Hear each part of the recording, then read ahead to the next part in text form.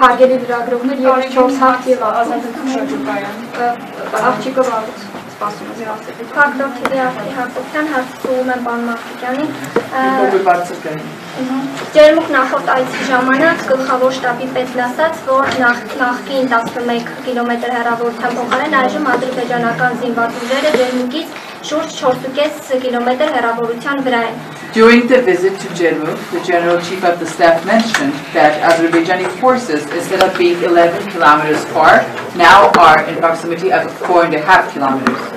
Ասաց, որ մեր զինված ուժերը շրջափակել են Ադրբեջանի այդ ստորաբաժանումները եւ եթե մի քանի օր սնունդ ջուր չլինի, կենսունակություն չլինի, նրանք հետ կվերադառնան իրենց դիրքեր։ They mentioned that our armed forces have surrounded the Azerbaijani armed forces and if for a few days they do not have access to food and water, they will move back. Այդ հայտարարությունից անցել է շուրջ 13 օր, ինչ է եղել ադրբեջանական այդ խումբը։ 13 days has passed since the announcement was made. What happened with the Azerbaijani special unit that was blocked?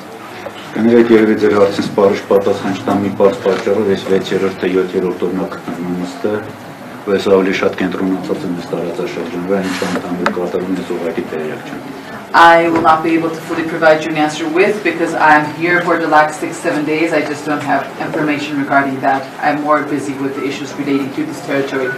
Դուք կհաստատեք կամ կհերքեք այն տեղեկությունը, որ Հնդկաստանը Հայաստանի հետ զենք մատակարարելու պայմանագրեր է կնքել։ Can you prove or say that whether it is true or it is not true that India has signed agreements to import munitions and ammunition Armenia? Այդ հարցը նույնպես ընդհանրապես իմ դաշտի նման հարցով խնդրեմ դիմեք That is not within my powers. Please, you can address the question to the Deputy Minister of Defense.